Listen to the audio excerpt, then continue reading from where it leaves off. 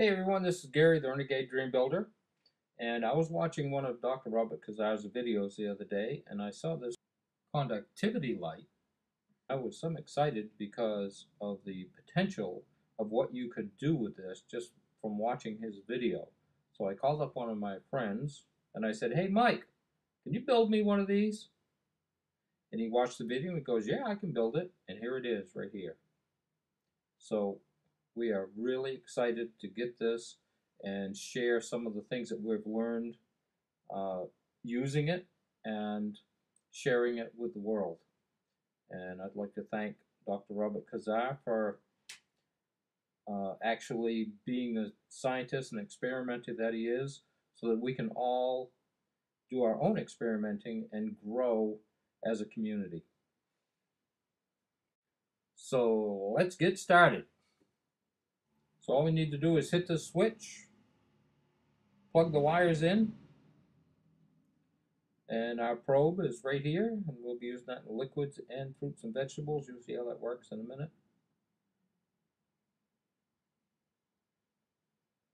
Plug it in, and we're ready to start with our water test. Our very first test, we're testing water.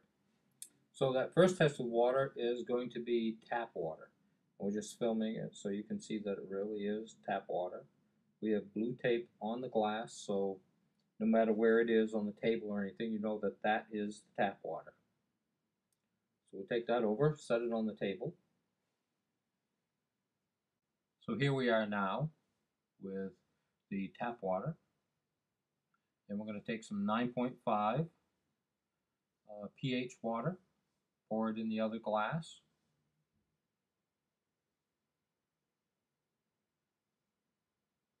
And we're ready to start the experiment. Just turn on the switch and the end of that probe will have 110 volts right at the end of the probe. And we'll put it in the uh, tap water first so you can see what happens and nothing happens. There's not even enough in that water to excite that enough to light that light bulb. And in the pH balanced water, 9.5, nothing happens over there either. So we're going to give it a little uh, shot in the arm, see what we can get going. And we're going to, first in the tap water, we're going to use iodized salt. Just a little tiny bit of this will help. Look at that. Isn't that beautiful? So the conductivity of that now is ready to uh, for the next part of the experiment except we're going to do the pH balance first.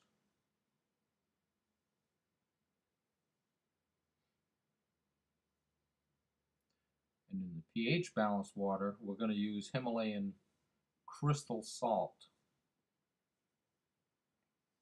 Now, if you've never had Himalayan crystal salt, it's much saltier than iodized salt.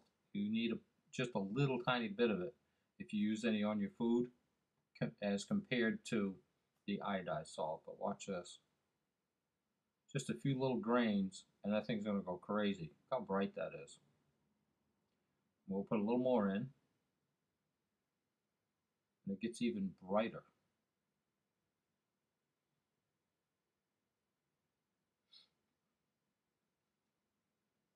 Now we're going to put the probe back in the tap water. And I think I'm going to put a little more salt in. Because that bulb could be a little bit brighter even with the iodized. You see how much brighter that got? Okay. Now what we're going to do is we're going to take sugar and we're going to put sugar in with the tap water because you can see the conductivity is really high right there and watch what happens when I do this. Now think of the water as your stomach and the light bulb as your electrical system and then you have a soda or a candy bar. Look how much electricity, how much conductivity that that is actually shutting down. I find that absolutely amazing. And you may think that I'm putting a lot of sugar in, but you could get 8 to 10 uh, teaspoons of sugar in just a soda. So then if you have a soda and you have sweets with it, think of how much sugar you're getting and how much effect you're having on your whole electrical system. But you can see each time I put that in that it's burning it off and it's coming back. Well, that same thing is happening to your body. The sugar is shutting your body down and destroying the conductivity of your body. Then as it starts to burn it off, it starts to come back. And that is where fatigue comes from in your body. It's fighting the acidity in the sugars, trying to get the body back to balance into an alkaline state.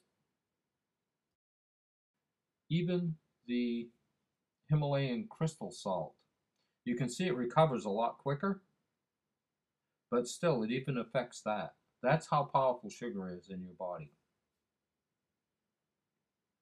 I find this experiment extremely amazing.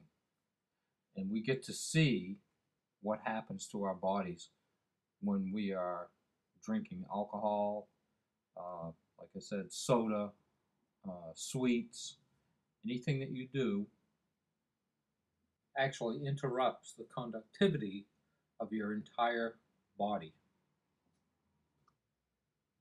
And you can see it's starting to come back.